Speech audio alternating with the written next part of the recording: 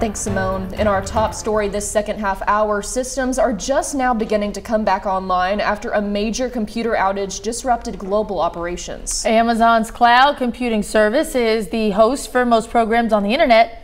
Wendy Gillette shares how companies, governments, and universities all suffered from a glitch within the system. Millions trying to log in to popular sites, services, and apps were logged off as Amazon Web Services experienced a major outage. Snapchat, Reddit, Amazon, and Venmo are just some of the affected companies. They're one of the largest providers in the world. Tech Radar's editor at large, Lance Ulanoff, says that's why so many businesses are involved. Amazon Web Services provides cloud computing infrastructure, effectively a backbone for much of the internet.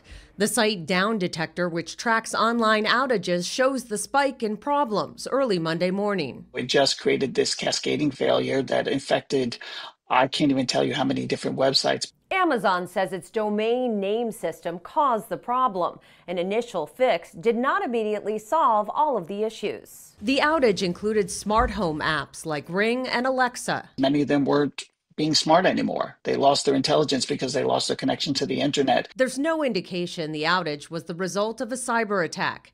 It's just the latest major internet failure demonstrating the world's online dependence.